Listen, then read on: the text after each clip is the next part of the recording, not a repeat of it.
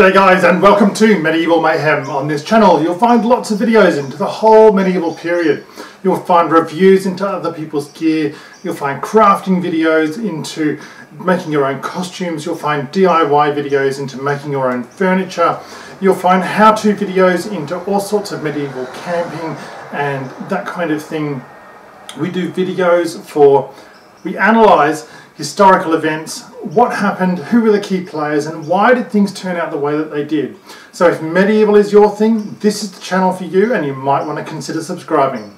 In today's video, we're looking at the Medieval Fight Club Hadseax. This particular knife is based off a range of finds that were found throughout uh, modern day Ireland, modern day England, and Germany, and parts of western France throughout the 8th through to about the 11th century.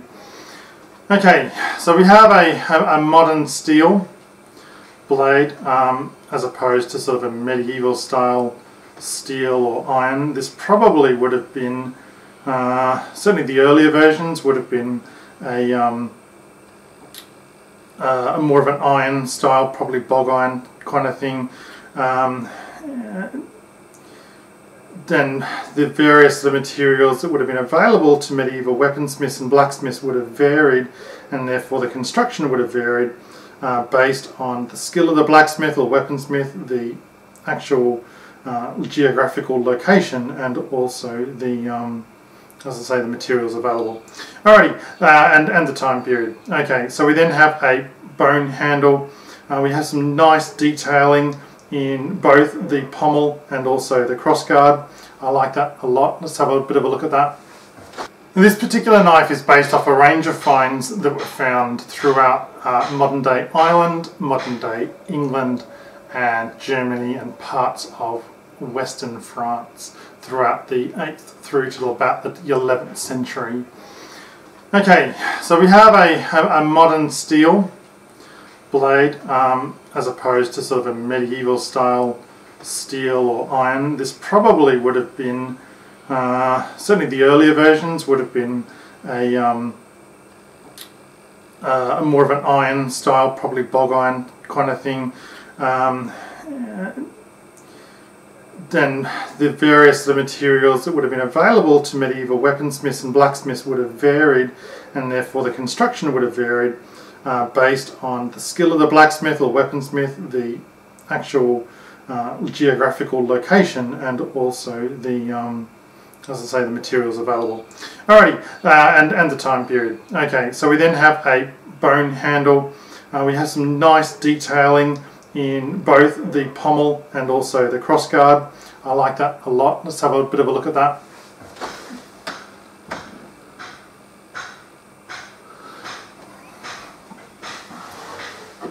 Alright, so firstly we're going to talk uh, so these types of uh, saxes, as I say, were very common throughout um, Dark Age culture. Um, the whole Merovingians in, in sort of modern day France and Germany through the um, the Jutes in, in Denmark and Norway and those kind of places and the Britons and the Celts and so on all had very similar sorts of things because they were traded and also it, was just the style of the time and it actually goes a lot further into time than we might realize because there are a whole bunch of knights in the Merovingian Bible, also known as the Crusaders Bible, who are running around with exactly this type of knife.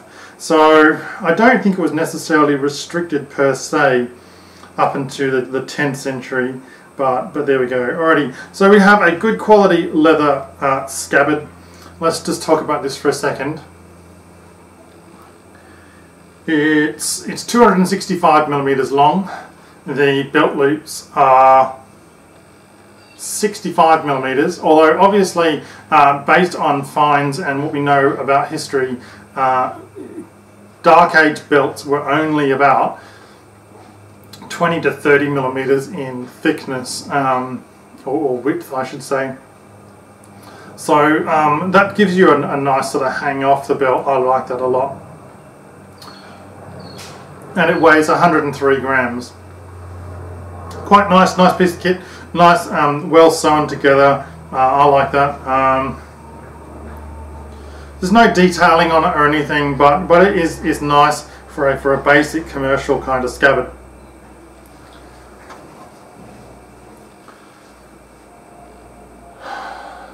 So if we're talking about this, the uh, the actual Sayax itself, and, and that's how it would be pronounced, Sayax, as opposed to Sax, which it's, it's like sort of spelt like. Um, right, so total of 394 millimeters long. The blade itself is 243 millimeters with a thickness of 4.75 millimeters, and the actual edge is 1.5 millimeters. So it's not sharp at all. Obviously, you could sharpen it if that's what you would like um, and I will be sharpening these. I've bought a couple of these and I'll be giving them to my girls to use. Uh, I think these work really well for them.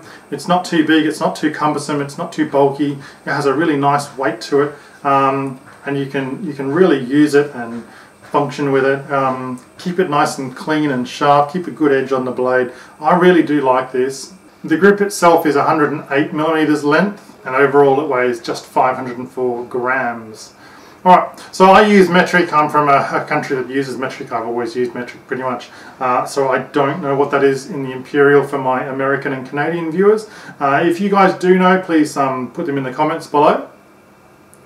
So let's uh, let's talk about this. Uh, the cost is around about $100 Australian. I don't think that's too bad. That translates to give or take um, about 40 to 50 pounds sterling and also around about the whole kind of $40 American, roughly speaking, um, which I think is pretty reasonable. Um, I like the materials and I like the, the construction. It, it really does look a really nice piece of kit. It's very like authentic looking. Um, definitely not out of place. I, uh, I like the way that the, quality of construction is good. It's not going to come apart, I don't believe. Uh, I've not had any problems with this. Um, we've been, I mean, I bought these now, what, a year and a half ago, two years ago. Not used them a lot, but, um, you know, they've, they've been on, on the costumes and stuff, and um, we've been to a whole bunch of different festivals, and so they've been traveling around in the car and in the boxes and that kind of stuff, and they've had no issues with them at all let's face it, in this day and age, we don't really use these sorts of things for the, the, the kind of applications they were originally designed for. But uh, I like this as a, as a piece of kit. As I say, it's, it's nice and lightweight. It's very easy to use. It's, it has a nice feel to it. Um, and I, I, think it's entirely suitable. Uh, I got this, as I say, for my girls uh, who are only fairly young. Um, and I really do like it. I, I, think this is really good. You don't need to keep it like super sharp, um, but that said, it's it's really nice um, and very practical. So I, I really do do like this. So we look at uh, the information provided, the photos, the description, the price, and the manufacturing and materials. Uh, I think all up we have a really solid 8 out of 10. Very happy with this, thoroughly recommend it and I think this is a really good uh, addition to anyone who's involved in Saxon, Viking, uh, you know, Scandinavian reenactment sort of circles throughout that whole kind of 8th through to, you know, 12th century kind of thing. Righto guys, um, I really hope you enjoyed the video. Please like, subscribe and share. I will catch you in my next video.